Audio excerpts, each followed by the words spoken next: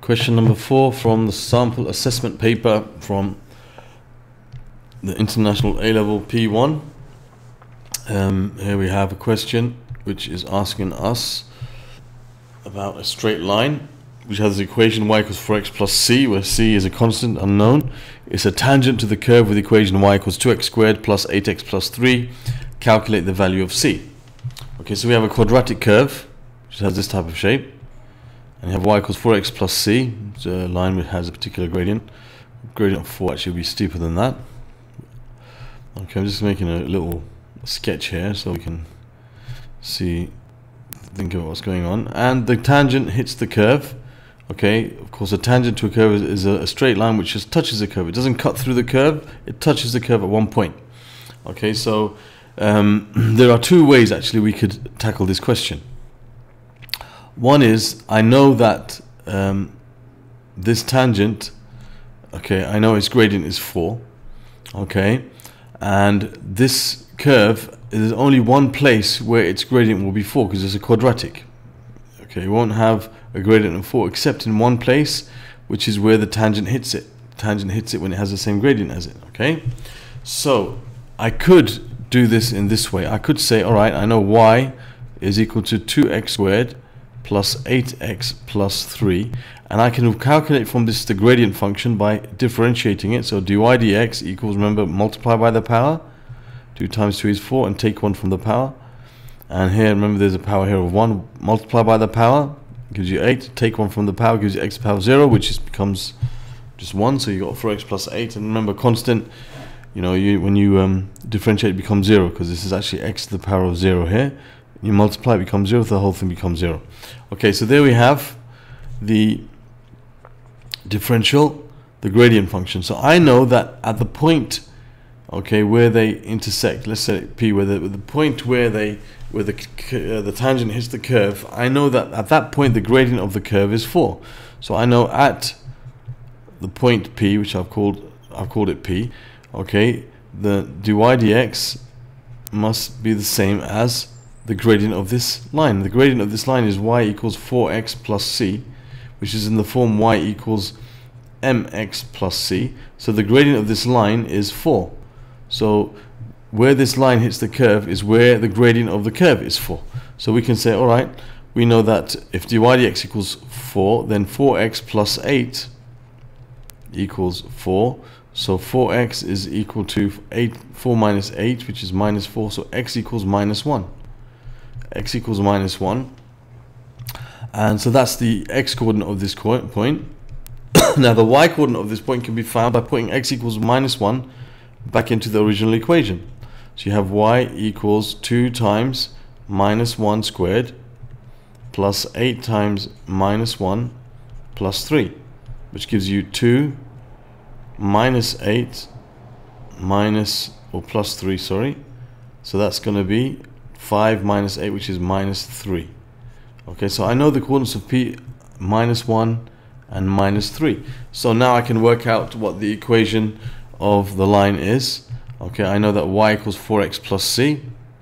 So I know the equation of the line is y equals 4x plus c, and I know it passes through the point which I've called p, its coordinates are minus 1, minus 3. So if I substitute this x and y value into this equation, I will end up with the value of c, and I can write down the equation of the line. Or in fact, we just have to find the value of c. Yeah, so to find the value of c, I'm going to put instead of y minus 3, instead of x minus 1, so I'll have minus 3 equals minus 4 plus c. So that means c is equal to minus 3 plus 4, which is 1. So c is equal to 1. That's one way of tackling this question. Okay, by using the fact that it's a quadratic, this is a quadratic and this is a straight line, and they'll only intersect in one place, and that place is when the gradient of this quadratic curve is going to be 4. Okay, because it has to have the same gradient of the tangent at the point where they intersect. Uh, a second way of answering this question is for us to to realize that if this is a tangent to this curve, it's only going to intersect it in one place. So there'll only be one solution. Okay, there'll only be one solution when um, I solve these two equations simultaneously. So I have y equals 4x plus c, y equals 4x plus c, and we also have y equals 2x squared plus 8x plus 3 so y equals 2x squared plus 8x plus 3 I'm just showing you a different way now in case you prefer this way. So to solve these simultaneously I can make the, them equal to each other. They're both equal to y so they're both equal to each other. So I can say 2x squared plus 8x plus 3 equals 4x plus c. If we bring everything to one side 2x squared plus you got 8x minus 4x which is 4x and you got plus 3 minus c equals 0 so this equation has to have one solution if this is a tangent. So if y equals if y equals 4x plus c is a tangent to the curve is a tangent therefore one solution so my handwriting is a bit bad here okay so if there's one solution to this quadratic equation then we know that b squared minus 4ac has to equal 0.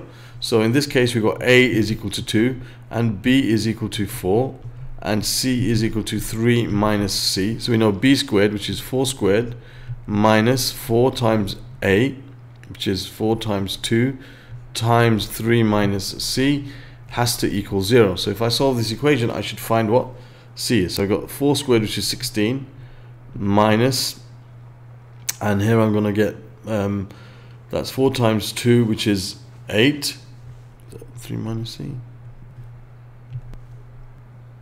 yep sorry one second so I've got um, b squared 4 squared minus 4 times a times c equals 0 so it's 4 squared is 16 I've got 8 I have 8 times 3 minus c equals 0. So I have 16 minus 24 plus 8c equals 0. Now 16 minus 24 is minus 8 plus 8c equals 0. So we have 8c is equal to 8. So c is equal to 8 divided by 8, which is 1. Which is, I think, the same answer that we got here. c is equal to 1 as we see here.